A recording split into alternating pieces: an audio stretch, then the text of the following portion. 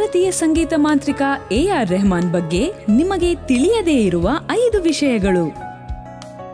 Number one ಬಾಲ್ಯದಲ್ಲಿ ದೂರದರ್ಶನದ wonder balloon ಕಾರ್ಯಕ್ರಮದಲ್ಲಿ ಕಾಣಿಸಿಕೊಂಡಿದ್ದು, ಒಟ್ಟಿಗೆ ನಾಲ್ಕು ಕೀಬೋರ್ಡ್ಗಳನ್ನು ಬಾರಿಸಬಲ್ಲ ಹುಡುಗನಾಗಿ ಜನಪ್ರಿಯತೆ ಪಡೆದಿದ್ದರು.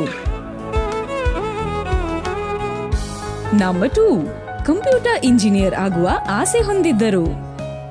Number three A R Rahman ಮತ್ತವರ ಪುತ್ರ ಆಮೀನ್ ಇಬ್ಬರದು ಒಂದೇ ಜನ್ಮ ದಿನಾಂಕ, ಜಾನ್ಯುರಿ ಆರು. ನಂಬರ್ ಫೋರ್ ಎರಡು ಸಾವಿರದ ಹದಿನಾಲ್ಕರ ಒಳಗಾಗಿ ನಾಲ್ಕು ರಾಷ್ಟ್ರ ಪ್ರಶಸ್ತಿ, ಹದಿನೈದು ಫಿಲ್ಮ್ ಫೇರ್ ಪ್ರಶಸ್ತಿ ಮತ್ತು ಹದಿನಾಲ್ಕು ಫಿಲ್ಮ್ ಫೇರ್ ಸೌತ್ ಪ್ರಶಸ್ತಿಗಳನ್ನು ಗೆದ್ದಿದ್ದಾರೆ. ಒಟ್ಟು ನೂರ ಮೂವತ್ತೆಂಟು ಪ್ರಶಸ್ತಿ ನಾಮನಿರ್ದೇಶನಗಳಲ್ಲಿ ನೂರ ಹದಿನೇಳು ಪ್ರಶಸ್ತಿಗಳನ್ನು ಗೆದ್ದಿದ್ದಾರೆ.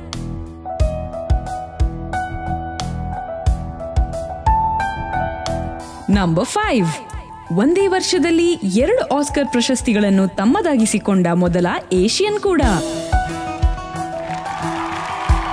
Musical maestro A R Rahman ಅವರಿಗೆ ಮಿರ್ಚಿ ಹೇಳುತ್ತೆ ಹ್ಯಾಪಿ ಬರ್ತ್ಡೇ